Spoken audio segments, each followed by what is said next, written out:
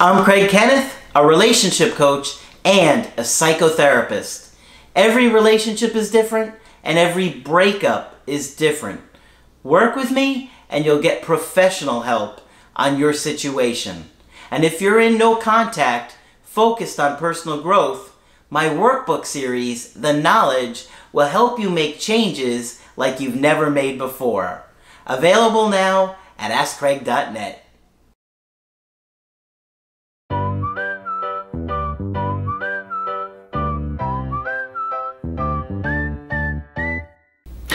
Hi there, I'm Coach Craig Kenneth, and in this video, I'm going to be talking to you about She Came Back after two years of no contact.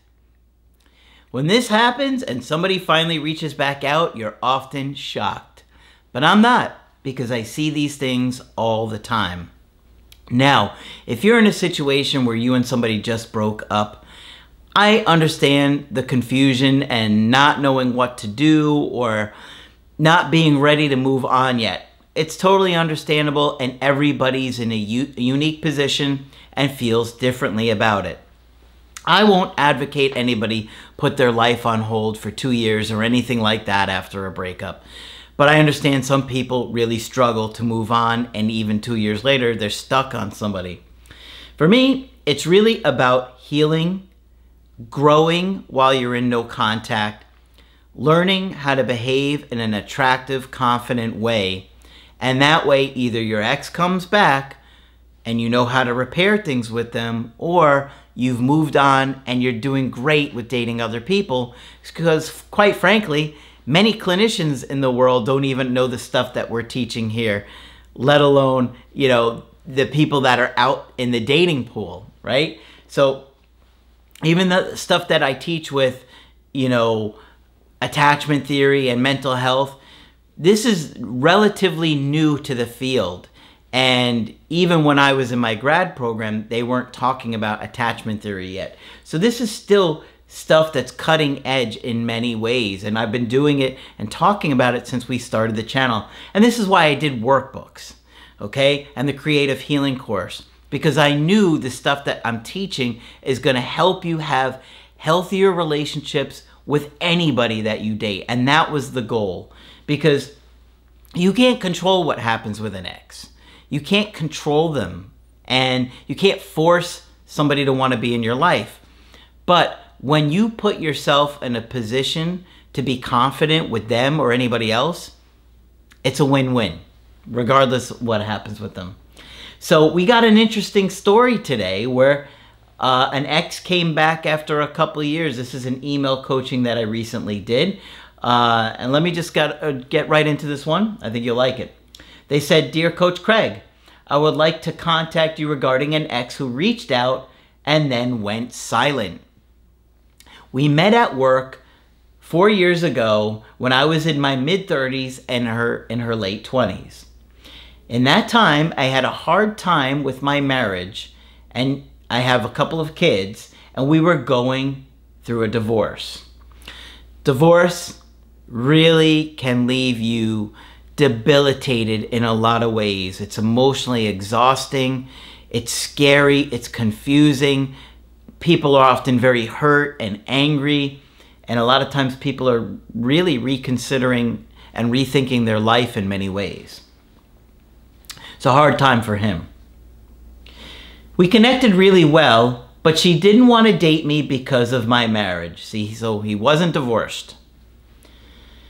She left my work and re we reconnected again on social media two years ago after the divorce. I asked her out and we hit it off really well. For me, it was one of these rare events where I met a woman so interesting, funny, intelligent, and attractive. Yeah, sometimes we find somebody that we just really click with and we really want to make it work. And that's why I'm saying if you heal those attachment issues that you have and learn the skills that we teach and you really are able to implement it, you're going to naturally be very confident with the people that you're crazy about.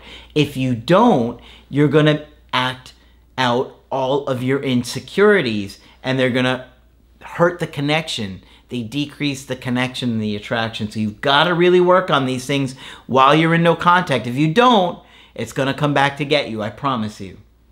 Because we all have some kind of attachment issues, and they come out when we get attached, when you're crazy about somebody. I was blown away and sadly also acted that way. See what I mean? He acted insecure. Let's see what happened. In our short relationship, which only lasted a few months, she became colder and drifted away, which made me really anxious. This is exactly what I'm telling you guys. Think about what I've just said and what just happened here. Uh, when you have attachment issues and you're excited about somebody you're thrilled about him, you're crazy about this person, these things are likely to happen. Okay, he probably came on really strong because he was really valuing her, saying, Oh, she's so interesting and funny and intelligent and pretty. And then he can't control himself in that moment and he's probably smothering her.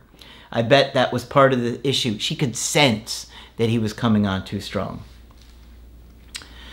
I made all the mistakes one could make at that moment.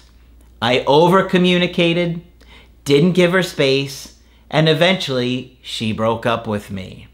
Now, they weren't dating for very long, so maybe she was hung up on somebody else at the time.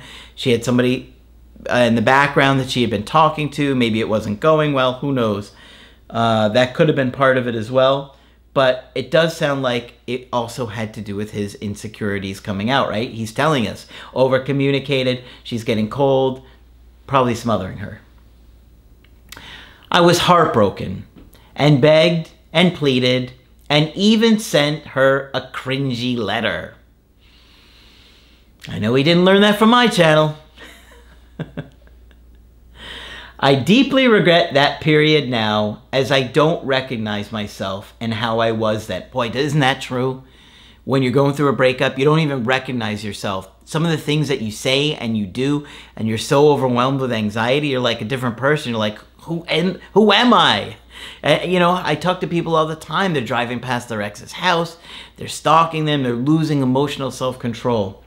And those are the attachment traumas that came up from your early childhood. That's why you're doing it. So you got to work through those. They're not easy to do, right? It's not easy to do that. That's why I have like the creative healing course, which is really in depth in going through attachment is issues, going through the story of your life, recognizing those things so you can fix them. In the meantime, I got my act together, worked out, did a full triathlon, climbed Mount Kilimanjaro, and did major process at work. However, she always stayed on my mind. Fast forward two weeks ago when all of a sudden I was surprised by a message she sent to me after two years of no contact. I'm not surprised. I see this all the time. I was surprised by 50 years, okay? That, that was the record. That's the one that surprised me, 50 years. But two years, no, not a surprise. She said, Hi, it's already a long time that I'm dying to write you. Despite all what happened, you are still someone who means something to me. But I wanted to respect your wish to not contact you. So think about what she's saying here okay? She's been dying to write him for a long time. Despite everything that happened, you've meant so much to me, and the only reason I didn't reach out is because I was trying to respect what you told me. He said, I asked her not to contact me if she only wanted to be friends after the breakup. I wanted to ask you out for a drink. This is her again. And I hope we can catch up on lost time. She also asked in another message if she could come visit me after at work after a medical exam she had to do. Look at that interest. And this is what happens all the time with exes. Their interest is low, you don't know what it is, they've disappeared, and bam, look at how strong she's coming on here. Asking him out for a drink, telling him all this stuff, uh, and saying she wants to stop by this, uh, I guess his work, after a medical exam or nearby his work, whatever. I was surprised that she immediately wanted to see me at work out of the blue after two years and didn't want to reply immediately to give myself some time to, to reflect. Sure, no reason to rush. You know, you could sit on it, relax a little bit, stay calm. You don't you want to be centered and you don't want to look eager. I said that I was busy at work, to which she replied, "It's good that you're pursuing your dreams. Like I said, I'm dying to hear from you. If you're interested, I would be more than happy to see you. Have a nice weekend." Okay, so it sounds like it's going pretty good so far. Let's go on. I reflected the weekend if I wanted to see her to be on the right mindset and sent her a message that, of course, I want to meet up, only this week is really busy. How about next Thursday? After all that time, a week more or less won't make a difference with a winky face. All right, let's see what she does here. She then replied, There is a risk that I am on holiday with my best friend who always organizes things at the last moment. You're right. A week won't make a difference. Winky face. We'll keep in touch and have a nice week with a hugging emoji. That was one week ago and I haven't heard back from her again. So he's getting anxious. I know that feeling. You're getting anxious already. You're getting eager and anxious. You got to remember, you haven't heard from her in a couple years. You don't know what she's been doing. You don't know how much she has changed, grown up, or what she's been through. So don't put her on a pedestal, which you're kind of doing. I know you're getting eager and excited. It's natural, it's normal to do that. But just pull back a little bit, okay? To me, it felt like she had a nostalgic moment when she reached out and her last message, I was convinced that she would back away again like she did in the past. Okay, so you're interpreting things and it's getting you anxious. Like you're seeing that you've already put this meaning behind it. Oh, she was just feeling nostalgic and now she's going to back away again. Now that's possible. She could do that, but you you know what not to do. You know you're not going to chase her. But let's see, you know, that I think you're jumping the gun a bit on what she's going to do here because you're anxious. My question is, what should I do in this situation? Wait it out again and go no contact? Thanks for your help. Okay, well, she said she's going on vacation and or that she probably was and she was pretty honest in letting you know she was going with a friend so you wouldn't think anything of it. That's why I think she gave you that detail. So I think she's interested in you, and I think you just have to be patient. I wouldn't reach out. You know, you sent a calm message saying, hey, a week's not going to make a big deal, and she agreed. So you just have to stay calm and relaxed. Don't look eager. Your goal here is to just have a good time. You haven't seen her in a couple years. Like I said, you really don't know who she is at this point, how may, she may have changed, um, what she's looking for what she's thought about all this time. And also, you have to remember that you guys were dating for a couple of months a couple of years ago, and she kind of disappeared on you and got cold. Now, maybe it was your behavior, um, but based on your level of anxiety here, you could wind up making those same mistakes if you're not cautious. So, I would just take her out, have fun, she might have an avoidant attachment style. We don't have enough info here, but I wouldn't be surprised. Uh, so just get to know her. That should be your goal here. Just take her out, treat her like you're on a date with somebody that you haven't seen in a long time and you're just having fun with her. And see if she says anything about why she disappeared the last time around. I'd want to know. Now, I wouldn't want to spend too much time on that, and you may not necessarily do that on the first date here, but before you get attached to this woman, I'd want to know, well, what happened last time? When we were dating, you kind of disappeared on me and see what she says about that. But for the meantime, I think she's interested in you. You just have to relax. You're getting really anxious about it already, which is understandable, but that tells me that you got some more work to do on your anxiety and managing your anxiety.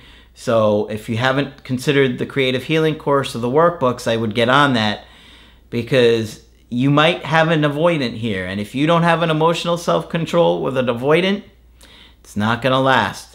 Takes patience and understanding and giving space.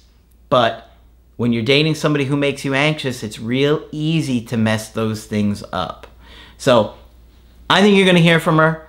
Focus on all the things that I told you. Go out, have a great time, but also find out what she's been doing the last couple of years. Who knows? All right. So hopefully this one's been helpful to you guys. Of course, if you want to get my help personally, you can do that on my website, askcraig.net. I do email coaching and I do Skype.